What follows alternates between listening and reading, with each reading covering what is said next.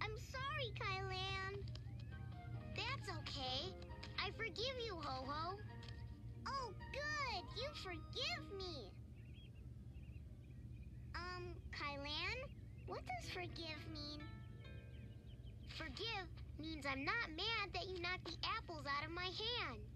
It's okay. I forgive you.